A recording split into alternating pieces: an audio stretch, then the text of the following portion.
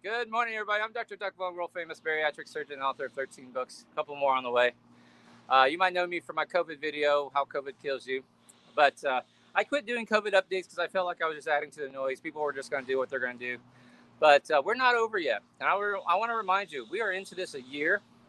And globally speaking, we are worse off now than we were a year ago. If you put all the global numbers together. So this is why this is important. I want to start doing videos that maybe a little bit more helpful. That'll be a little bit shorter. You can share a clip uh, and maybe try to help people see the light. So today's topic is why coronavirus um, vaccinations, vaccines will not change your DNA. So first of all, comment if you know anybody who thinks that, or they have said, or they post, or they share that um, that they won't take the vaccine because it's a DNA altering jab in the shoulder or whatever. Comment if you know anyone who is scared to get the vaccination because they think it's going to change their DNA. They don't understand it, right? So, comment if that's you. And I want to give you the correct response. It's very simple, short video. Oh, yes, I've heard it. Crap, exactly right, Irvin. Yes, Loretta. Yep. Okay. So here we go. All right, the reason why coronavirus vaccinations will not change your DNA is because they are made from messenger RNA. So I want to take you back to science class real quick. I'm going to try not to call you any nasty names today. I'm going to be good. But when you were in science class, and if you were awake that day, and you're talking about the cell structure, um, they usually the teacher would do something like an egg. Imagine a fried egg. You have the white part on the outside, then you have a circle in the middle, the orange circle. That's the yolk, right? You you've seen this. You know what a fried egg looks like, right? And so the teacher would say, the the the whole thing is the cell, and inside the cell, the round circle, the yolk, is the nucleus of the of the cell, the nucleus. And then there are all these other organelles outside. Okay. So, tip number one the DNA is inside the nucleus. It's like that movie, The Call's Coming from Inside the House. Ah! the DNA is inside the nucleus. All right. And what happens is, and yes, I know the DNA is your genetic fingerprint, blueprint, blah, blah, blah. But just like uh, a blueprint for a house, just because you have a blueprint doesn't mean you have a house. You have to have workers and foremen and concrete pourers and bricklayers and carpenters and all sorts of stuff, right? So it takes a lot of organelles, a lot of people, a lot of things in order to, to make that DNA active. But that DNA is in the um, nucleus. So the fuck that the fuck the fact that you think your DNA is so fucking important shows you like ugh, how really ignorant you are. Because the truth of the matter is, most of your DNA is actually not active at all. I mean, you could have a lot of alterations to your DNA, and some people do, and it won't show up. It won't matter because the only thing that matters is which genes are expressed. Expressed. Now, so the genes that are expressed, right, they unwind, open up, and then they get transcribed uh, using some proteins, right, that move along, and they it's like a um, typewriter. You, you know, um, here's a good example. Have you ever worked in an office and you have a label maker, right? And so you want to label something, right? So when I was a surgeon, I um, my nickname was the Mighty Mighty, so I gave it to myself, the Mighty Mighty. So when they gave me my locker in at the hospital when I changed into scrubs, um, you know, they put Dr. Vuong on there, you know, and I showed up and they're like, we picked this locker for you, Dr. Vuong, and put my name on it. And so I went to my office. I said, thank you very much. You know, and I went to my office and I got the label maker and I typed in the mighty mighty. All right. So the label maker is like your DNA. And then I hit print and the little tape comes out. I hit the cut button, it cuts it off. Now there's this little strip label maker that says the Mighty Mighty on it, and I stuck that to my my locker. So that little strip is like messenger RNA.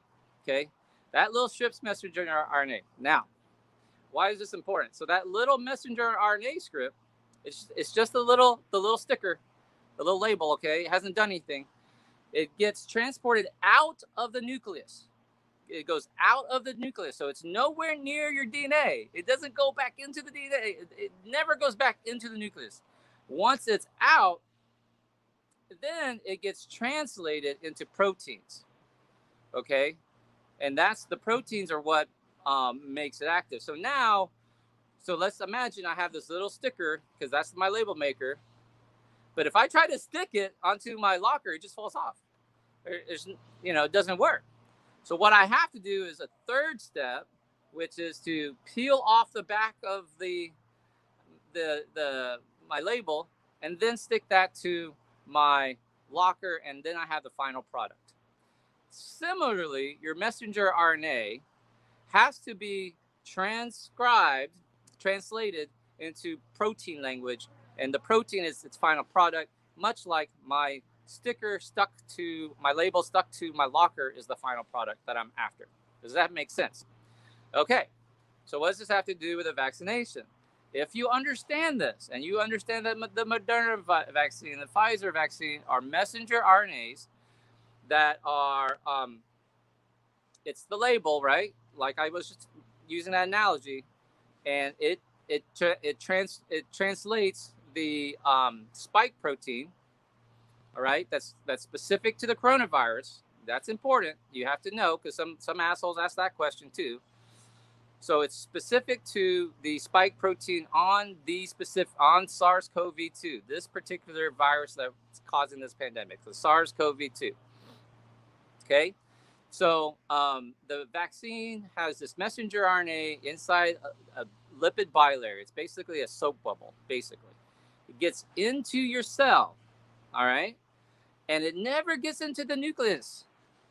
Okay, messenger RNA is out in the cytoplasm it will never, ever, ever, ever interact with your DNA. So the fact that this idiot keeps saying, "Oh, I'm not taking that DNA altering shot in the arm," you're an idiot. I mean, you you failed math uh, science class. You failed basic biology. It does not go into your D, uh, your nucleus. Messenger RNA has no capacity, no way. It's impossible for, for a piece of messenger RNA to make its way into the nucleus. Dr. V, what if something weird happened and it made its way? It cannot. There are no mechanisms in the cell that will allow or transport or do anything to bring messenger RNA back into the nucleus. So, the reason why these vaccines will not change your DNA is because it never, ever will go into your nucleus. When people get all confused by this, and so you spin off all these conspiracy theories, but and if you're someone who buys into these conspiracy theories that are easily explainable with science, what we know with science, then I'm going to tell you, I don't want to be your friend. I don't want you on my page. I don't want you to do anything because if you think that way, then then there are there's a very good chance that you think that way about other areas of your life. You think that way about your job. You think that way about your kids. You think that way about wife beating. You you think that way about like drinking way too much, drinking and driving. You think that way about, I mean, like, it's just, if you can't, if you are willing to keep propagating this idea that somehow these vaccines will change your DNA in the face of very good, like scientific, like it's just science. It's just, this is how it works. Uh, then I know you've got other areas of your life that you're making terrible judgments on. Trust me, I know. Okay. So you get the vaccine, it the M messenger RNA makes its way into your cytoplasm, into into the white part of the egg, motherfucker, not the yellow part, not the nucleus, in the white part of the egg. And then it has proteins there that then translate it, read it off, and it makes that spike protein uh, that everyone knows about that's on the coronavirus, the, the SARS-CoV-2. This specific virus, because coronavirus is a family of viruses, this specific virus, SARS-CoV-2, it makes the spike protein, and then that protein, because this is how cells work, That protein then gets moved out and displayed, displayed on the cell surface.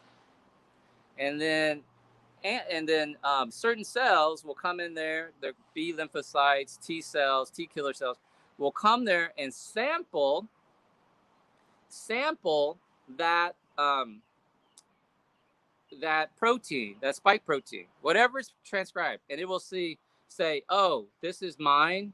This belongs to me. You're safe." Or it'll say, "Alert! Alert! It's the bartender, right?"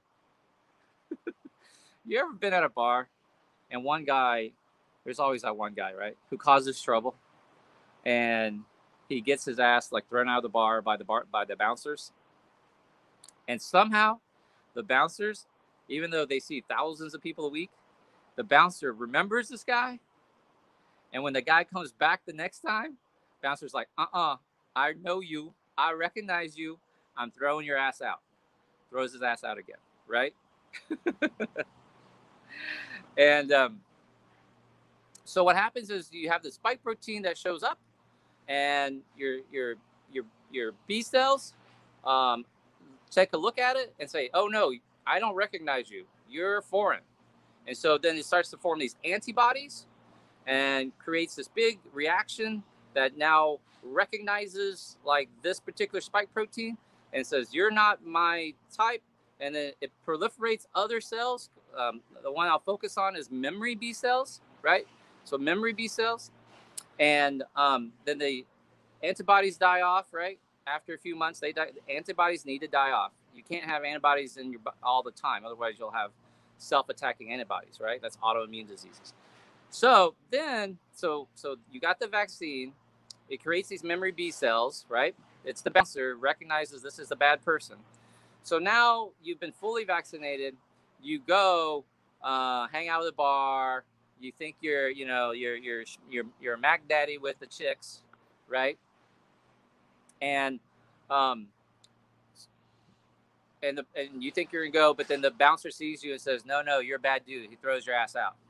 So if if you catch the coronavirus, if your virus, if your if your body comes in contact now with SARS-CoV-2, and the SARS-CoV-2 makes its way into your type 2 pneumocytes, right, your lung cells, because it's a respiratory illness, and it samples that spike protein and puts it out on the cell surface, and your memory B cells come and says, "Oh no, I recognize you. You're that dude that caused trouble." And sounds the alarm. The memory B cells automatically start making antibodies that causes a huge immune response and destroys that infected cell. Right? That's how vaccines work. You're trying to prime your body's immune system to recognize this illness sooner and I'll do a video later about like why get the vaccine if it doesn't keep you from catching COVID. It's fucking statistics and numbers. It's 94% effective. I know someone who got the vaccine and they still got COVID. That's what 94% effective means. It means there's going to be roughly 6% who still catch it. But of the 6% who caught it, none of them got hospitalized and none of them died. In other words, the vaccine was 100% effective in keeping your sorry ass alive. That's why this is important to get vaccinated. And that's how we will crush this pandemic is because we, you know, we um, give people enough immunity, we vaccinate enough immunity that before this virus has a chance to spread, it's killed off. In our, in our, that's called herd immunity. Does that make sense? So the messenger RNA always stays outside the nucleus. It will never interact with your DNA. It's impossible. It will not happen. A hundred thousand percent. All right. That's my talk today. I hope you liked it. If you liked it, I will be back every day in the month of May. I'll talk some COVID. I'll talk some economics. I'll talk some money, finances. I'll show you some gardening. Uh, but I feel like there's been too much vaccine hesitancy. So for those first few days, I'm going to talk pretty heavy about COVID. Cool. As always, I will edit this down, put it on my YouTube channel. Please do me a favor, hit a share button if you find have found this helpful, and please share my YouTube channel when I get it up. Thanks, guys. Bye bye.